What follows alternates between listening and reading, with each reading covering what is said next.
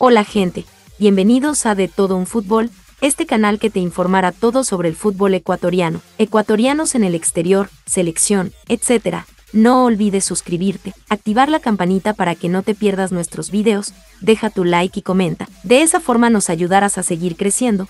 Cuento con tu apoyo, sin más empecemos. Bombazo Mundial.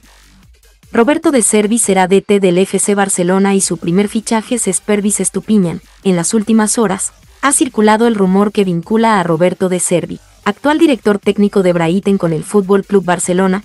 El Barça no vive el mejor momento deportivo, todo lo contrario, están atravesando una crisis, que incluso el propio Xavi Hernández ha puesto su renuncia una vez se acabe la temporada, por lo cual el Fútbol Club Barcelona deberá buscar un nuevo entrenador, dentro de las principales opciones que tiene, está la del italiano actual entrenador de Braiten, quien ha realizado un gran trabajo con las gaviotas, y según la porta es el indicado para asumir las riendas del Barcelona, pero evidentemente deberá buscar refuerzos de confianza, y al parecer, el primer refuerzo que pedirá para el Fútbol Club Barcelona será Pervis Estupiñán, un jugador que le ha rendido y le ha cumplido a carta cabal.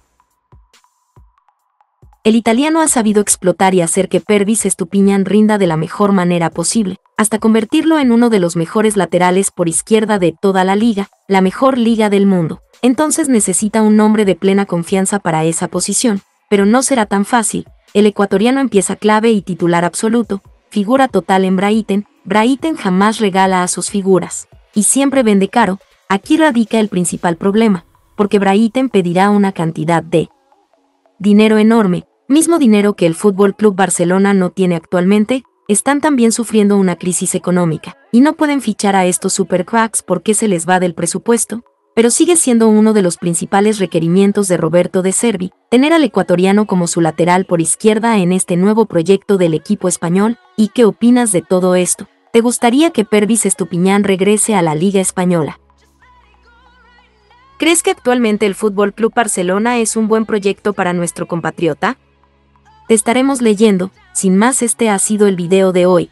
Quiero agradecerte por todo el inmenso apoyo que está recibiendo este canal. Ya somos más de 28 mil suscriptores. Una auténtica locura para el tiempo que llevamos. Seguiremos trayéndote contenido diario del fútbol ecuatoriano, así que esperamos tu apoyo. Síganse suscribiendo para seguir creciendo en esta hermosa comunidad.